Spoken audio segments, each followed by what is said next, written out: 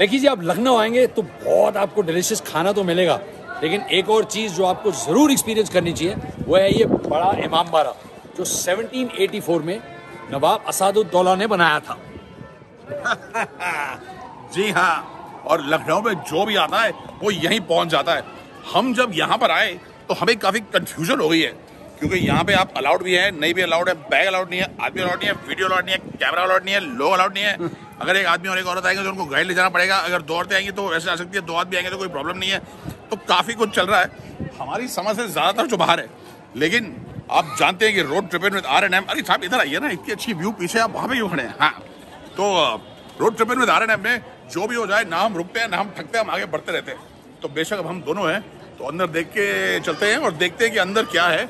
वैसे अभी तक खबर यह है कि दुनिया के लार्जेस्ट हॉल्स में से एक है, जिसमें ना कोई बीम है, ना कोई गडर है। बस ऐसे वो इंटरट्वाइन करके उसको खड़ा किया गया है। तो काफ़ी आर्किटेक्चरल मावल है। और ये है इमाम बड़ा। यहाँ पर अभी बताया गया है, इमाम हुसैन और बहत्तर मेंबर उनकी फैमिली और फ्रेंड्स जो थे, उन्होंने सब कुछ सेक्रीफाइस किया ट्रूथ एंड जस्टिस के लिए। तो ये बनाया गया है इस इंस्पिरेशन से।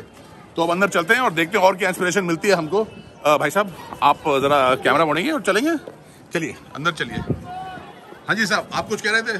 हाँ बहुत अच्छा लगा घूम के आए अच्छा लगा? हाँ। सुंदर जगह है? बहुत अनेक भालो। आपको कैसा लगा? बहुत अच्छा। अच्छा भालो बंगाल से आए आप जी जी जी बंगाल में है कुछ इतना अच्छा? हाँ बंगाल में भी है काफ़ी अच्छा। है? हाँ अपने एम पी के से आए। पूछते हैं। अच्छा है हैं, आप दोनों में से रॉकी कौन है? तो आप जरा इनको बताएँगे। मुझे दूसरा वाला नाम याद नहीं आ रहा है। Mayur. Sorry Mayur the bad looking one is Mayur the good looking one is Rocky. अच्छा चलिए अंदर चलिए क्या कर रहे हैं?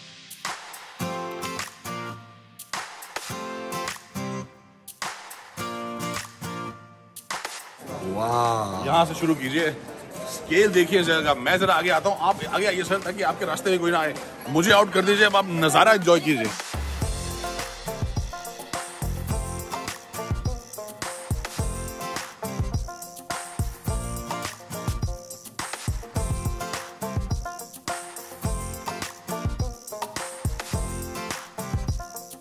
चलिए अब अंदर चलें।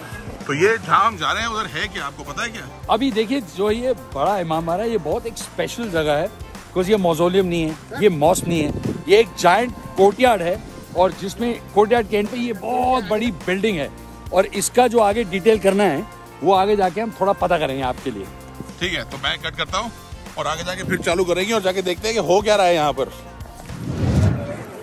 तो देखिए यहाँ पे अंदर जो है बहुत बड़ा बिल्डिंग है और आपकी काफ़ी इंटरेस्टिंग चीज़ें हैं। लेकिन हम आपको ये पूरी कहानी जो है ना, बाहर से बताएँगे। क्योंकि देखो जी, अभी भी थोड़ी सेफ्टी या बहुत सारी सेफ्टी बहुत ज़रूरी है। और यहाँ पे इतने सारे लोग हैं। और मेरे को लगता है कि सिर्फ़ रॉकी भैया और मैंने मास्क पहने हुए बाकी सब ऐसे ही घूम रहे हैं। तो अपनी सेफ्टी के लिए और आपकी सेफ्टी के लिए, क्योंकि अगर हमारे को कुछ हो गया तो आपको भी बहुत दुख होगा। तो हम बाहर से ही कहानी सुनाएँगे। तो अब रॉकी भैया आपको सुनाएँगे कहानी कि यहाँ पे अंदर जब आप जाते हैं, आपको क्या मिल सकता है या नहीं मिल सकता? तो भाई साहब बहन जी जरा दिल थाम के बैठिए क्योंकि यहाँ पे जब आप अंदर जाएँगे एक हज़ार चौबीस रास्ते हैं। अंदर है भूल भुलैया।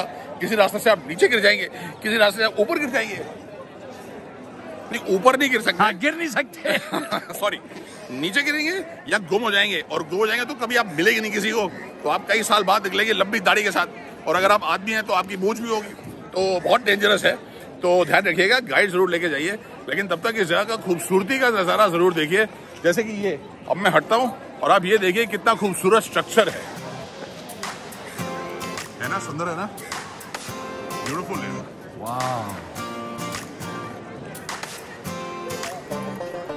ये भी ब्यूटी है। ये भी ब्यूटी है।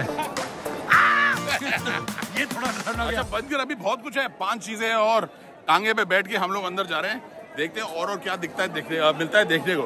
ये देखिए जनाब ये जो आपके सामने है ये रूमी दरवाज़ा। ये वाला आ गया सत्रह सौ चौरालीस में चौरासी चौरासी में सत्रह सौ चौरासी में हमारी हिंदी थोड़ी कमज़ोर है माफ़ कीजिएगा। और इसकी खास बात ये है कि जब यहाँ से देखें तो आपको दिखेंगे तीन गेट और चार स्टोरी मंजिल। और उस तरफ़ से देखेंगे तो दिखेगा एक गेट और एक स्टोरी मंजिल।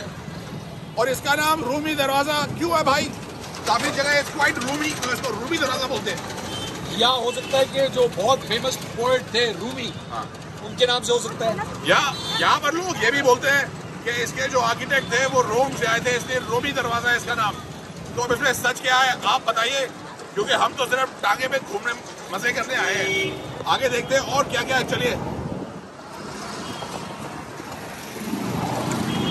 ध्यान से बैठना भाई घोड़ा ना गिर जाए। चलो जी।